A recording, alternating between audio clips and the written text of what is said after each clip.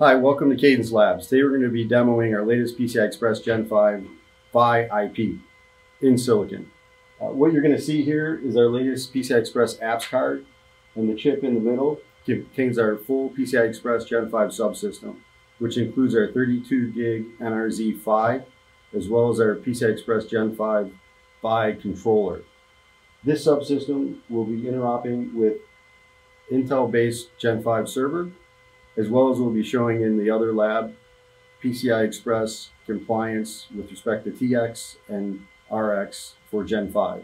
Our PCI Express Gen 5 PHY is our latest architecture which enhanced our TX and RX architectures used in past generations of our SerDes, as well as integrated our Tensilica microcontroller into the architecture, adding significant system performance and margin. As you can see here, we have our PCIe Gen 5 subsystem IP on a Cadence apps board.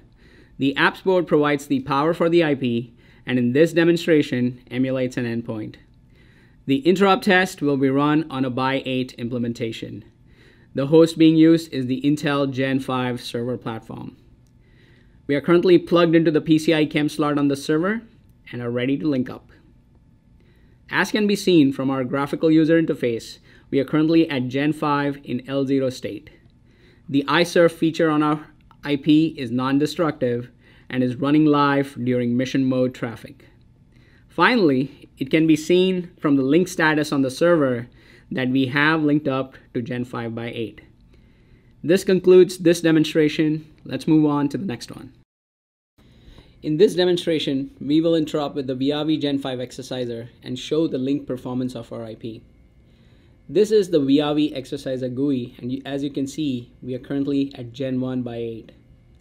I will now try to link up to Gen 5 by 8. From the screen, it's now clear that we are linked up at Gen 5 by 8 and we have no recoveries and no errors.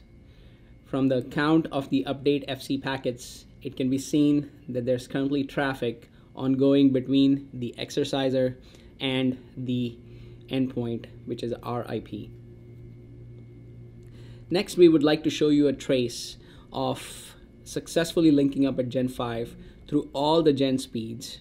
From the trace, you can see we have negotiated from Gen 1 to Gen 3 to Gen 4 and then finally to Gen 5. Our IP also supports the Gen 5 high rate EQ feature, which permits the link to transition directly from Gen 1 to Gen 5. From the trace, you can see that the high rate EQ is being sent in the packets from our IP. And you can see that we have linked up from Gen 1 to Gen 5 directly. In this setup, we have the PCIe Gen 5 apps board connected to the Keysight BERT using a Tektronix compliance baseboard and an external ISI trace board. The Keysight BERT has been calibrated to PCIe Gen 5 specification using ValiFrame software. As can be seen, we have linked up from Gen 1 to Gen 5, going through all the equalization phases, and from the BERT error count, we are currently running error-free. The graph on top shows the jitter tolerance result, and from that you can see we have significant margin over the entire swept SJ range.